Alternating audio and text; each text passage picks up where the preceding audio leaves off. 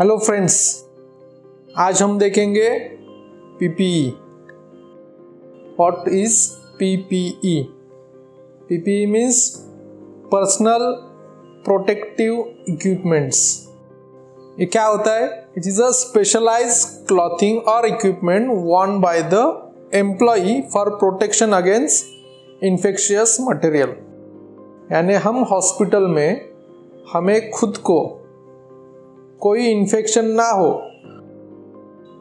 उसके लिए जो हम इक्विपमेंट पहनते हैं या जो स्पेशलाइज क्लॉथ होता है, उसको हम पीपीई बोलते हैं। उसमें क्या क्या चीज़ होती, हो सकती है?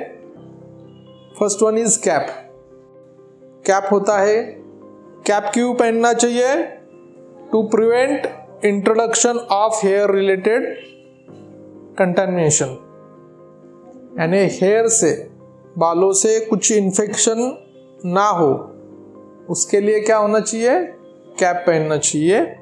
नेक्स्ट है ग्लोव्स ग्लोव्स किस चीज़ के लिए? कि प्रिवेंट हैंड्स यानी अगर आप कोई पेशेंट को टच कर रहे हो आरटीए पेशेंट है ट्रॉमा पेशेंट है, उसमें आपके हाथ को ब्लड लगने वाला है, या फिर और कोई फंगल इन्फेक्शन आप क्रॉस एग्जामिन पेशेंट का एग्जामिन कर रहे हो, उस पेशेंट को फंगल इन्फेक्शन है। अगर आप बेयर हैंड टच करोगे तो इन्फेक्शन आपको भी हो सकता है। ऐसे बहुत सारे इन्फेक्शन हैंड से ट्रांसमिट हो सकते हैं। इसके लिए ग्लोव्स होना बहुत ही इंपॉर्टेंट है। ठीक है? Next gowns and aprons gowns और एप्रोन्स क्यों होते हैं?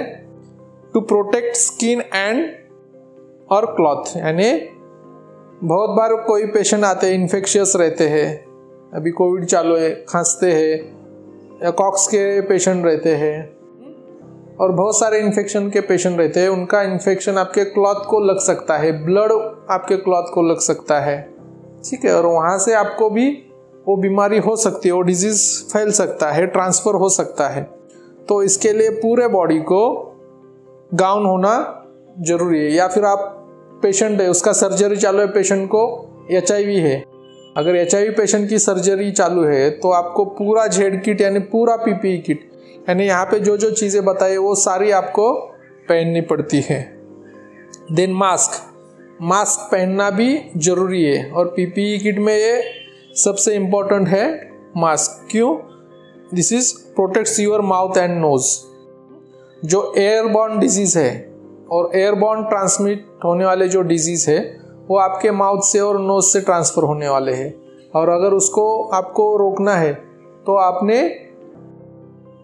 मास्क पहनना बहुत ज़रूरी है। ओके देन गॉगल्स गॉगल्स क्यों पहनने हैं? टू प्रोटेक्ट योर आइज़ यानी कोई भी पेशेंट को हैंडल करते समय आपका, आपको आँख में इन्फेक्शन ट्रांसफ़र होने के चांसेस रहते हैं, जैसे अचानक सर्जरी चालू है और ब्लड आँख में भी जा सकता है आपके। ठीक है? तो बहुत सारी चीज़ें हैं जो आँख से भी ट्रांसफ़र हो सकती है इन्फेक्शन तो वो ना हो, इसके लिए भी गॉगल पहनना ज़रूरी है। और आखिर में है गम बूट हम्म? तो टू प्रिवेंट द फिट यानी पैर से भी इन्फेक्शन ना हो, या फिर कोई मर्कुरी स्पिलेज किट हो या फिर आपका ब्लड स्पिल हो, या फिर और कोई ट्रॉमा पेशेंट है तो उसमें अगर ब्लड वहाँ पे गिरता है और आप बेयर फुट हो या फिर सिर्फ़ स्लीपर्स है प्रॉपर गम बूट नहीं है तो वहाँ से भी आपको इन्फेक्शन क्रॉस इन्फेक्शन होने के चांसेस होते हैं। अगर आपके पैर में ऊंड है तो हो सकता है कि वो बीमारी आपको ट्रांसफ़र हो। तो नॉट ओनली ब्लड बहुत सारी बीमारियाँ हैं। इन्फेक्शियस स्किन डिज़ीज़ है जो स्किन टू स्किन टच होके ट्रांसफ़र हो सकती है।